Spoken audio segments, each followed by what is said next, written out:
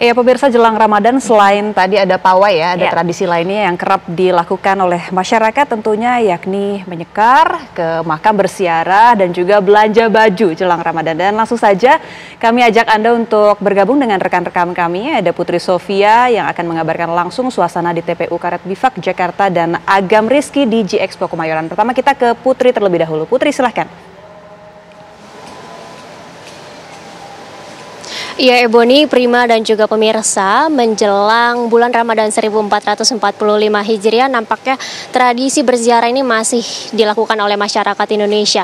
Di tempat saya melaporkan saat ini, tepatnya di tempat pemakaman umum Karet Bifak Jakarta Pusat, dari pagi hingga sore hari ini masih cukup ramai didatangi oleh para peziarah.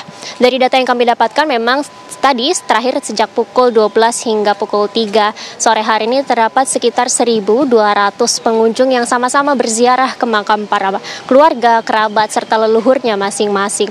Namun, untuk hari ini memang dikarenakan karena cuaca di Jakarta turun hujan sejak pagi tadi, ini angka ini merupakan angka yang jauh dibandingkan dengan data dari hari Minggu pekan lalu tepatnya pada tanggal 3 Maret 2024 di mana pada minggu lalu ini pengunjung di TPU Karet Bifak yang berziarah ke makam para keluarganya ini mencapai angka 3.000 hingga 4.000 para pengunjung dan selain itu juga dari pantauan lalu lintas ini tidak terdapat kemacetan yang cukup berarti. Sementara demikian, Prima dan Ibu kembali Sofia. ke studio melaporkan langsung dari Karet Bifak. Selanjutnya sudah ada rekan kami Agam ya untuk melihat tradisi lainnya tradisi belanja menjelang Ramadan. Silakan Agam.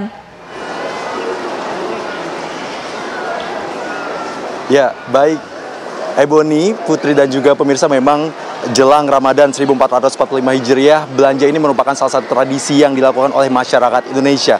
Nah, saat ini kami sudah melaporkan dari J Expo Kemayoran, begitu ya, itu tepatnya di Muslim Life Pro Festi uh, 2024, di mana terdapat sejumlah tenan yang mendagangkan berbagai macam barang dagangannya mulai dari pakaian, makanan hingga mainan anak-anak. Nah, saat ini Putri, Deboni dan juga pemirsa, kami sudah bersama dengan salah satu penjual dari toko di J Expo Kemayoran ini. Selamat siang Bapak. Oh ya siang Mas. Ya Bapak dengan siapa nih? Wildan.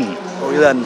Di festival ini nih Pak, di bazar ini nih, sudah berapa banyak pengunjung yang membeli atau apa sih dagangan yang favorit dibeli oleh para pengunjung ini? Kalau hari ini sih infonya katanya tadi kredit banget siang gitu ya. E, kayaknya mungkin tim belum sempat ngerekap tapi alhamdulillah sih ini sampai berantakan. Harusnya sih ini bisa rapi ya gitu cuma ya alhamdulillah berantakan yang membawa berkah ya di hari kedua ini gitu alhamdulillah Oke Pak, ada tawaran-tawaran berapa persen nih? Mulai dari berapa persen? Nih, dari diskon.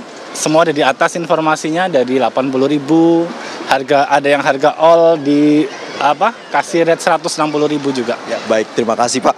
Nah setelah itu kami juga sudah ada bersama dengan salah satu pengunjungnya nih. Selamat Wah, siang ramai pak. sekali. Siang. dengan siapa Ebony tadi kan juga ada ini pakaian laki-laki tentu juga pakaian anak-anak dan wanita iya. akan lebih ramai Pasti lagi. banyak koleksinya nanti kita lihat selengkapnya di G Expo Kemayoran.